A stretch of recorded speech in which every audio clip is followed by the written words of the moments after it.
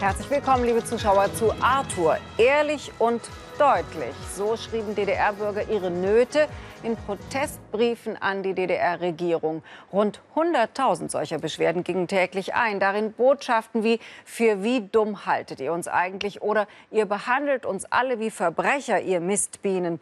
Trotz Schriftfahndern und Speicheltests gelang es der Stasi kaum, die Absender zu ermitteln. Lange lagen diese privaten Briefe an die DDR-Regierung in den Stasi-Archiven. Jetzt hat der Politologe Siegfried Sukut 250 davon erstmals veröffentlicht. Wutbürger in der DDR in seinem Buch Volkesstimmen kann man nachlesen, was sie aufgeschrieben, sich aber sonst nie gewagt hätten, öffentlich zu sagen welche Konsequenzen es hatte, solche Briefe an die DDR-Regierung zu schreiben. Das würden der Autor Siegfried Sukut und auch wir gern genauer wissen. Deshalb bitten wir alle Leser seines Buches hiermit sich zu melden, falls sie im Buch Volkesstimmen ihren eigenen Beschwerdebrief wiedererkennen sollten. Bitte schreiben Sie an arthur.mdr.de. Das Dresdner Hannah Arendt Institut für Totalitarismusforschung ist ein renommiertes Haus. Zweimal im Jahr bringt es eine wissenschaftliche Zeitschrift heraus, die sich mit Totalitarismus beschäftigt. Doch in der letzt erschienenen Ausgabe konnte man von einem eher ausgefallenen Thema lesen, der vergleichenden Betrachtung nämlich des deutsch-deutschen Schäferhundes. Was war geschehen? Eine Gruppe von Wissenschaftskritikern hatte sich jene Studie einfallen lassen. 16 Seiten Schäferhund als eine vergleichende Gewaltgeschichte im 20. Jahrhundert.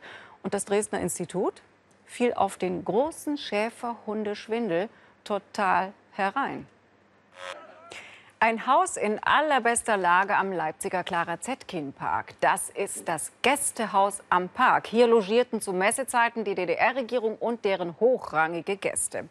Hier ist der Milliardenkredit zwischen Honecker und Strauß ausgehandelt und besiegelt worden. Ein Haus mit Geschichte. Seit 20 Jahren steht es leer und verfällt. Immer wieder hätten Investoren dieses Sahnegrundstück gern verändert und die Ruine abgerissen. Seit gestern aber steht es fest, Leipzigs Stadtrat entschied, dass auf die denkmalgeschützte Ruine endgültig Rücksicht zu nehmen ist. Kein Abriss also. Doch drohen nun weitere 20 Jahre Leerstand und Verfall? Ob edel oder schmuddelig, wir alle haben so unsere Erfahrungen mit Restaurants, hierzulande immer noch gern Gaststätte genannt. Seit im Paris des 18. Jahrhunderts die ersten restaurierenden Etablissements eröffneten, ist klar, im Restaurant wird nie einfach nur gegessen. Christoph Riebert hat die 250-jährige Geschichte des Restaurants recherchiert und ein beeindruckendes Buch über diesen besonderen Ort voller kurioser Begebenheiten geschrieben. So gut, dass er es damit auf die Shortlist für den Buchpreis der bevorstehenden Leipziger Buchmesse schaffte. Im Restaurant Anfang März erscheint Christoph Rieberts Buch.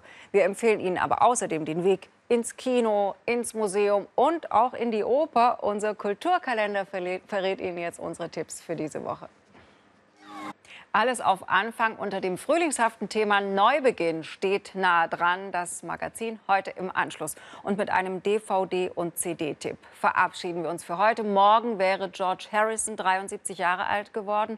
George Fest, A Night to Celebrate the Music of George Harrison, gibt's ab morgen im Handel. Und Arthur gibt's wieder am nächsten Donnerstag. Danke fürs Zuschauen und bis dahin.